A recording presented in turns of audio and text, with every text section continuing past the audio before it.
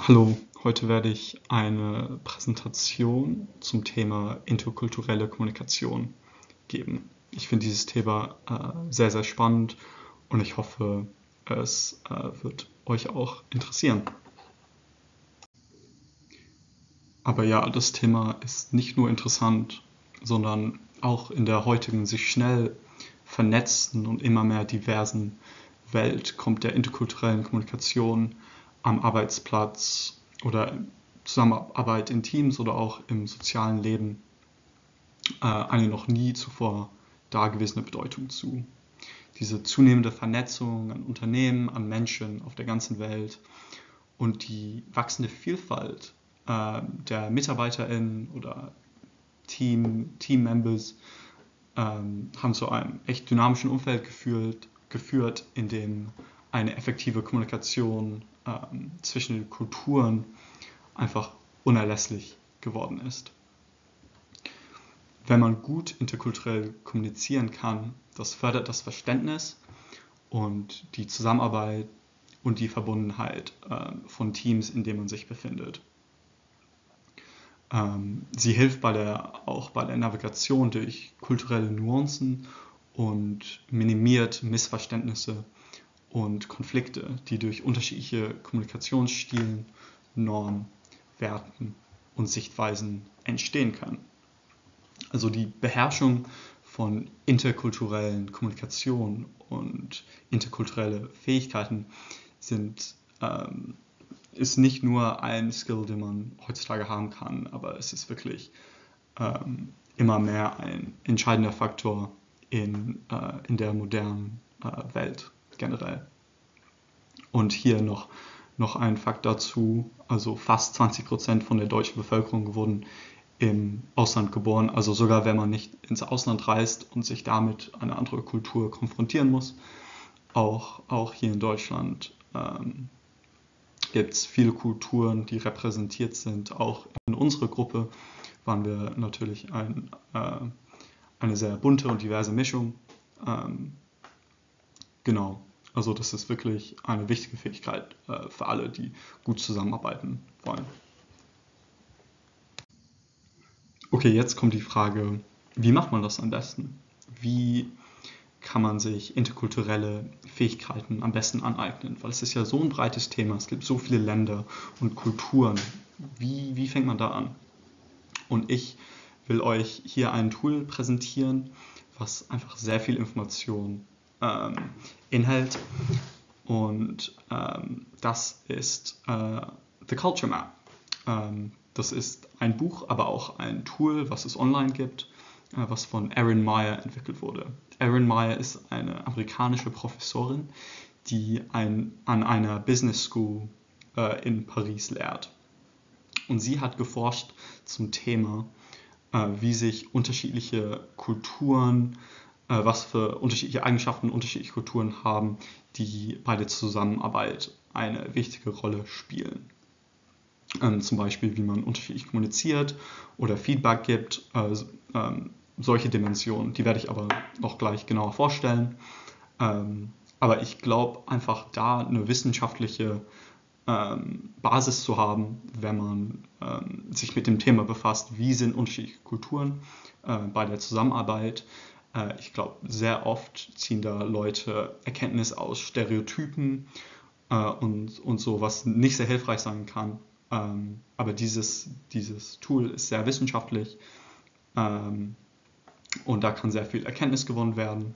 Also ich zum Beispiel, ich habe äh, schon mal in einem interkulturellen Team zusammengearbeitet äh, und da haben wir dieses Tool benutzt, um einfach nochmal zu sehen, wie wir zu unterschiedlichen Sachen stehen ähm, genau. Aber ich will auch noch dazu sagen, also dass wenn es um sich interkulturelle Fähigkeiten ähm, bei, bei der Aneignung davon, da natürlich ähm, kann man nicht alles nur aus einem, einem Buch oder aus einem Tool ziehen. Da hilft auch einfach äh, Freundschaften aufbauen mit Menschen aus anderen Kulturen, reisen gehen, sich mit ausländischer Literatur befassen, ähm, alles Mögliche.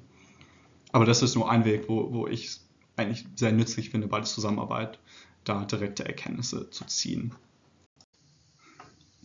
Ja, und Aaron Meyer stellt acht Dimensionen vor, in denen sich Kulturen unterscheiden. Die erste ist ähm, Kommunizieren. Ist beim Kommunizieren ein hoher oder niedriger Kontext ähm, erwartet? Das zweite, Auswerten, also Feedback geben, äh, direkt oder indirekt. Äh, das dritte ist Überzeugen, äh, werden Prinzipien, wird viel Wert auf Prinzipien gelegt oder erstmal äh, die Anwendung. Das vierte ist beim Führen, ist es eher egalitär oder hierarchisch.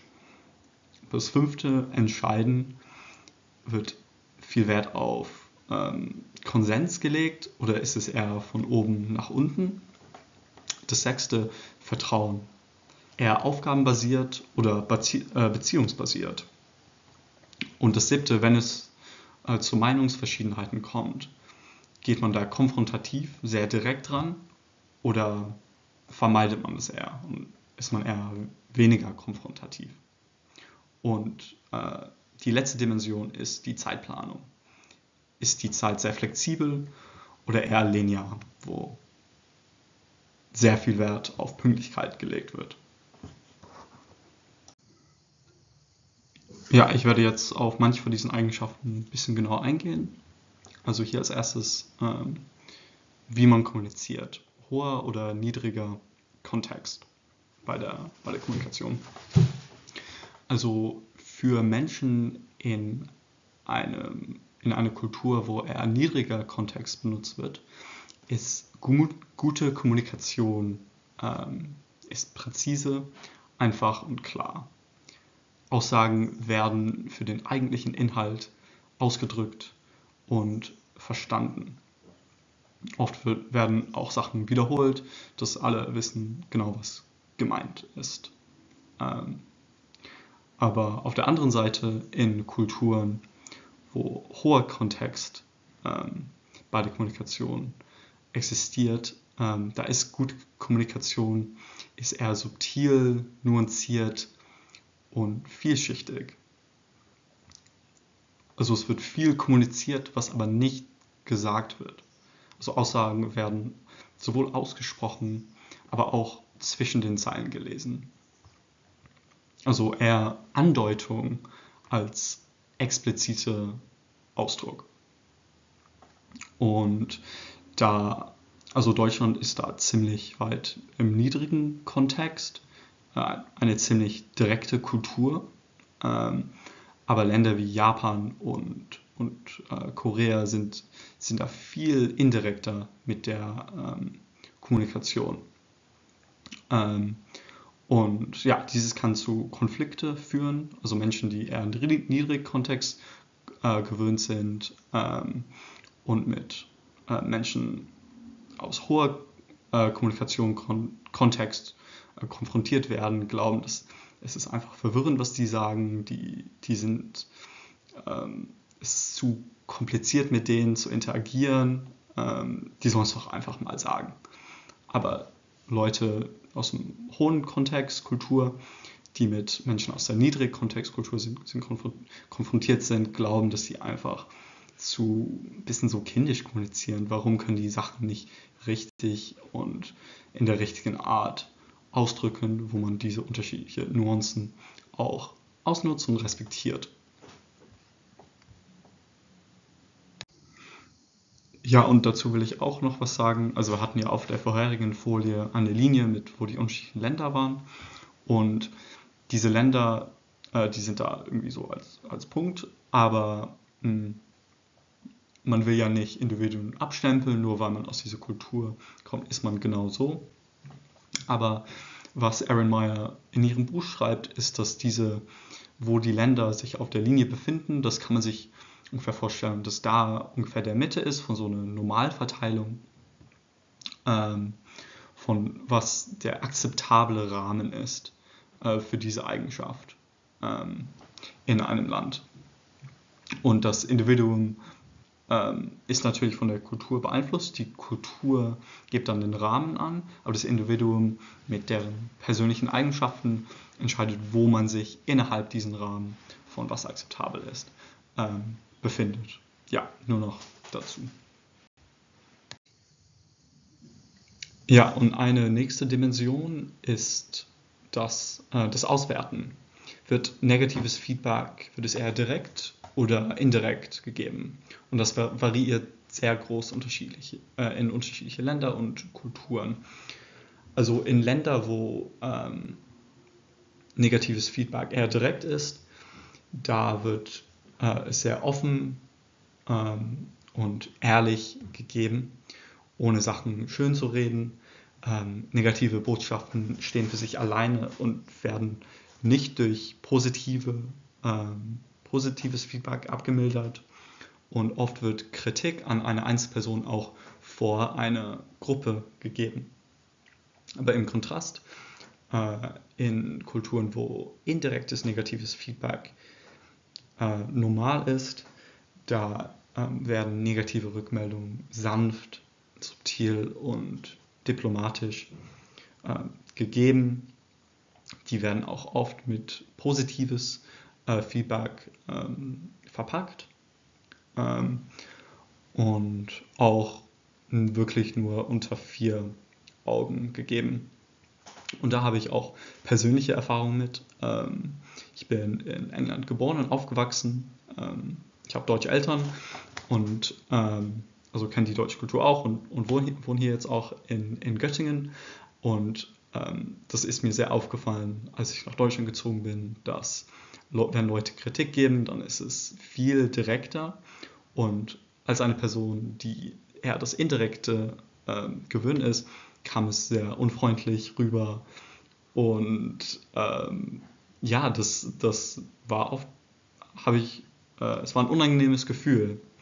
Ähm, und als ich die angespro darauf angesprochen habe, dann meinten die, ah, like, das, das sagt man doch jeden. Oder ähm, es war gar nicht so wirklich persönlich gemeint.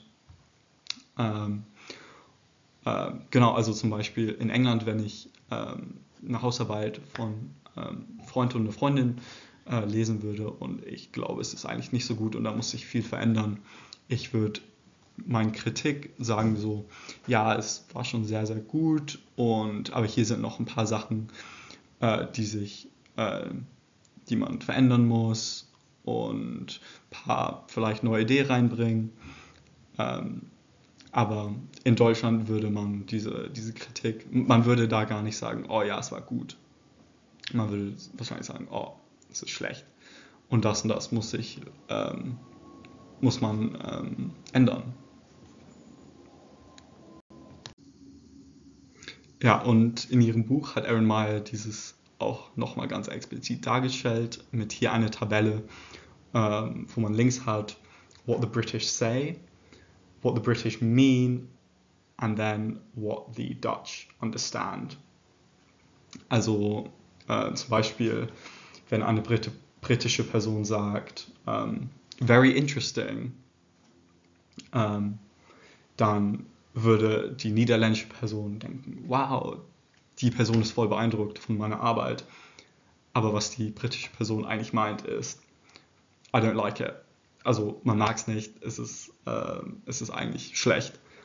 Ähm, und als ich, als ich diese Tabelle gesehen habe, ähm, ja, es, ähm, sowas kam bei mir öfters vor, dass es da Missverständnisse gibt. Ähm, und ja, ich glaube einfach bei der Zusammenarbeit, wenn diese unterschiedliche, äh, wenn diese Unterschiede bewusst sind, dann kann man einfach viele Konflikte und Missverständnisse vermeiden. Genau, und jetzt äh, noch zwei mehr Dimensionen, äh, die sich ziemlich ähneln. Also äh, erstmal führen äh, wird das Team, die Gruppe, das Unternehmen eher egalitär äh, geführt oder hierarchisch. Und beim Entscheiden wird da eher nach Konsens gesucht mit allen Beteiligten oder wird es einfach von oben gegeben. Ähm, also ja, erstmal dieses, dieses Führen, ähm, da hat man halt, also ein Unternehmen, äh, wenn äh, sehr e-, egalitär ist, da würde man so eine Arbeitskultur haben, wo äh, der Chef oder die Chefin einfach mit allen äh, zusammen Mittagessen würde also sehr locker, ähm, weniger ja, ähm, festgefahren da, dass alle diese ähm, sehr strikten Rollen haben. Ähm, aber ja, genau, wo, wo es eher hierarchical ist, da, da haben, wissen Leute wirklich, wo ihr Platz ist in der Rangordnung ähm, und so.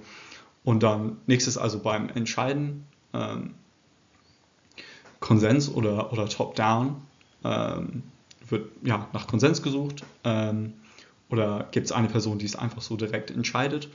Und hier, was interessant ist, man würde denken, dass Länder, die sehr egalitär sind, ähm, sind ähm, suchen beim, beim Entscheidungsprozess nach Konsens. Und wenn es sehr hierarchical ist, dann ist es sehr von oben nach unten beim Entscheidungsprozess. Aber das muss eigentlich nicht so sein. Also zum Beispiel in der USA, die sind ein, ähm, eine Kultur, wo es ähm, beim Führen ist es eigentlich ziemlich ähm, egalitär. Also genau, nicht so strikt man, ähm, und so. Ähm, aber beim, wenn es Entscheidungs, wenn man Entscheidungen machen muss, dann sind es wirklich die Leute, die ganz oben sind, äh, die da äh, die Macht haben. Aber in einem anderen Fall, also Japan, eine Kultur, die sehr hierarchical ist, also sehr festgefahrene Rangordnung ähm, mit allen, die zusammenarbeiten, aber beim Entscheidungsprozess sind die ganz, ganz weit längs, ähm, suchen sehr nach Konsens. Also die Entscheidungen äh, kommen eher von unten nach oben. Okay, und jetzt die letzte Dimension, die ich vorstelle, das ist die Zeitplanung. Für Zeit sehr strikt gesehen ist es eher linear oder ist man da eher ein bisschen flexibel? Ähm, und da habe ich wieder Erfahrung gemacht, also als ich nach Deutschland gezogen bin, ähm, dass Leute wirklich viel genauer auf die Zeit geachtet haben. Also in den ersten paar, äh, paar Monate, als ich hier war, als ich mich mit ähm, Freunden und Freundinnen ähm, verabredet habe, ähm, wenn ich da irgendwo fünf Minuten zu spät kam, habe ich schon irgendwie Anrufe bekommen, gefragt, wo ich denn bin, ob alles okay ist. Und manchmal ähm, waren die Personen dann auch ein bisschen genervt, wenn ich sieben, acht, neun oder zehn Minuten zu spät kam. Äh, und das war mir äh, sehr, alles sehr neu. Also in England äh, sehen wir da Zeit eher ähm, äh, flexibler als in Deutschland. Und da, wenn man eine Viertelstunde zu spät kommt, äh, das ist eigentlich mit eingerechnet. Ähm, und da, da war mir diese deutsche Einstellung einfach, einfach ziemlich fremd. Und das kann man hier auch genau sehen. Ähm, in, in Aaron Myers Buch, Deutschland ist da ganz, ganz weit ähm, links. Sieht Zeit sehr äh, rigide. Und ähm, England ist da weiter, äh, weiter rechts, eher flexibler. Und hier will ich auch nochmal dazu sagen, also ähm, wie man eine andere Kultur empfindet, das ist nicht, ob die jetzt generell ähm, links oder rechts vom Mittelpunkt auf dieser Linie ist. Das ist eher ähm, also aus der Sicht von der eigenen Kultur. Ähm, was entscheidend ist, ist dieses Land links oder rechts von dem eigenen Land. Also ich habe Deutschland als sehr festgefahren empfunden, weil ähm, ich mh, hm, weil, ich, weil England flexibler ist, aber ich würde wahrscheinlich genauso aufgeregt sein, wenn ich mit Menschen aus der Türkei oder äh, Kenia mich verabreden würde, äh, weil die halt eher Zeit viel flexibler sehen. Also das einfach nochmal noch mal dazu. Genau, und jetzt habe ich ein paar unterschiedliche Dimensionen vorgestellt und jetzt ähm, wenn man dieses Tool benutzen will, kann man online gehen und äh, die unterschiedlichen Länder eingeben oder ähm, von, vom Team, wo man zusammenarbeitet, wo man herkommt. Und dann kann man halt auf diese unterschiedlichen Dimensionen schauen. Ähm, wo sind denn meine, äh, meine Team-Members? Und ich glaube einfach, mh, hm, diese äh, Unterschiedlichkeiten, die einfach da ein bisschen offen drüber zu, zu, diskutieren und dass es einem bewusst ist, dass wenn Leute ähm, eher ähm, Feedback geben, was sich ziemlich unhöf unhöflich, ähm, unhöflich rüberkommt, dass es vielleicht kein persönlicher Angriff ist, dass es einfach Teil von deren kulturellen Verständnis ist und halt, dass man, wenn man mit Menschen aus anderen eher zeitflexiblen Kulturen zusammenarbeitet, äh, dass man das so ein bisschen einplanen soll, ähm, statt sich äh, groß drüber aufzuregen. Ähm, genau, und ja, ich ähm, ist einfach ein schnelles Tool, was man, äh, was man benutzen kann. Und ja, äh, ich hoffe, es war interessant und danke fürs Zuhören.